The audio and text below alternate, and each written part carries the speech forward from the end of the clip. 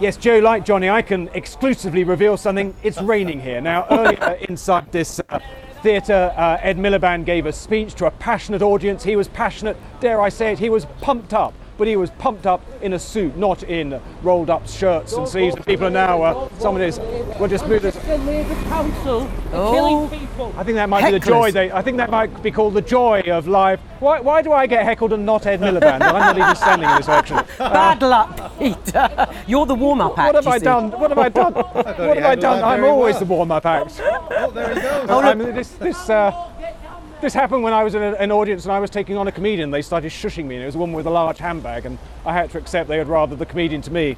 Um, he's been uh, taken away, as they He say. Um, so anyway, ba- ba- back to the, the more boring issues. Well, not boring, obviously, for Ed Miliband and the Labour Party and You the said it, electorate in this country.